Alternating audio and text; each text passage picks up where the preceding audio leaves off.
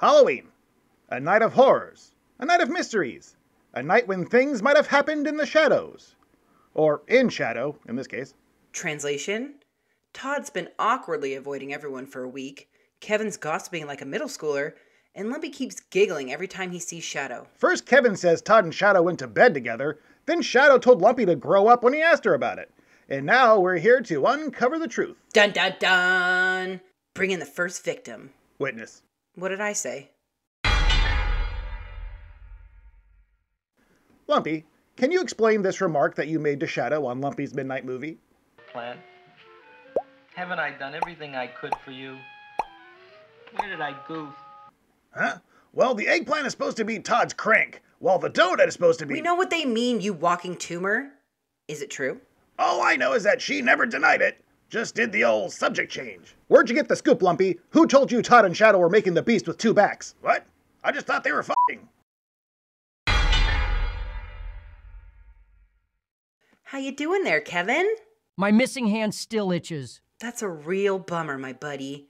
Hey, what's the super cool secret you told Lumpy? You being nice is unnatural. Believe me, it hurts like a bitch. Do you mean about the sleepover? What sleepover, Kevin? Did it include Todd and Shadow? Uh huh. Shadow asked Todd to go down somewhere, but we were already in the basement. And bombshell. Hang on. This is still Kevin after all. Hey there, my special little guy, or whatever. Did they say anything else? I think they're going fishing or something. Todd was asking about her motorboat. Oh, you two. Where do I even start? What is this all about? And where did Kevin get the ice cream? He earned it. But don't change the subject. Todd, Todd, Todd, Todd, Todd, Todd. We go back a ways, don't we? About eight years.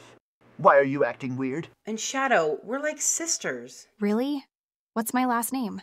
The point we're trying to make is that we like to keep an honest, open basement around here. Didn't you lie to Lumpy about his show coming back? And you killed Brett Slang. He was already a zombie. And you helped send Bibble to hell. I thought you were on my side. I am.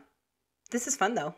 I want to know what happened between you two on Halloween. Oh, that. Yeah, that. Did you two, you know, get it on? Now you're a prude? What happened to the beast with two backs? Look, I am never one to kiss and tell.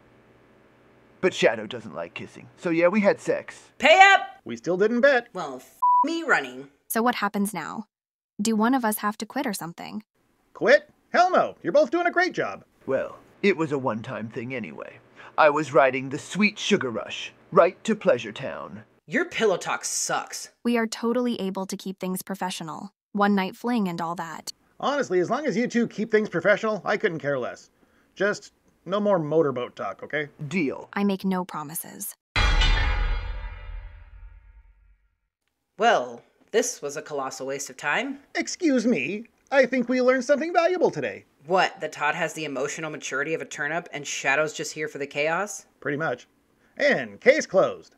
So, you want to split Lumpy's leftover pizza now or later? You sure you don't want to take me out for a motorboat ride first?